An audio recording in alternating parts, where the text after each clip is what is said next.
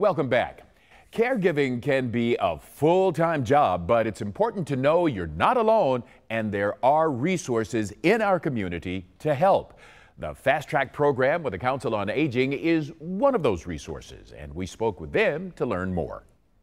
So When a person is in the hospital, there's a few things that happens. One of those things is to figure out what happens next, what happens at home, what kind of help do they need at home. And it can be as simple as them suddenly needing someone who uh, assists with their cleaning. It could be needing help with laundry. Leading up to my mom's hospital stay, our relationship has always been, we've been really close. Um, she's always been my best friend, my biggest fan, um, but she's always been super independent. And probably about a month or two before she had to go into the hospital, she hurt her back. So she was hospitalized um, very abruptly, and it was very urgent. When we were talking to the COA about what we needed, my mom didn't think we really needed much help, and I say we, her and I, she thought I had everything covered. But the one thing she didn't realize is I needed help, and I needed some support, and the COA helped provide that. They were sort of uh, this breath of fresh air when I probably didn't realize that I was suffocating. I will say, I realized I knew I needed help when I started not being the best version of me. So um, I started missing meetings, having to reschedule things, not doing the work that I felt was um, that was normal from me because I had to let things go. Um, as from a family perspective, I started forget, forgetting to sign notes for my son and um, packing things in his lunch that he typically liked.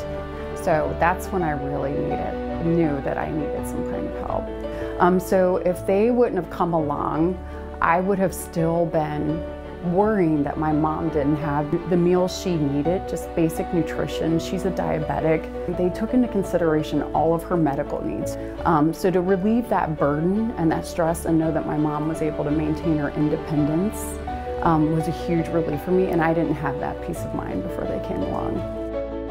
We're not here to take away their independence. In fact, we're here to help them remain independent. That's one of the biggest things that sometimes they just need to know that. That takes the pressure off. And it may mean that temporarily someone else has to do those things that are just a little bit hard for you right now, but later you can get back to life. You can get back and doing those things that you actually love, you actually enjoy doing, or those things that you feel like are keeping you young and vibrant.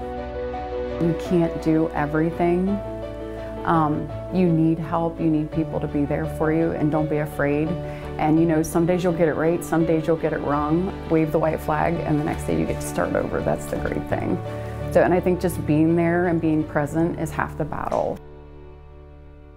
That, that's good to know. Now, for more information on the Council on Aging, visit their website at help the number 4 seniors.org or give them a call 513 721 1025.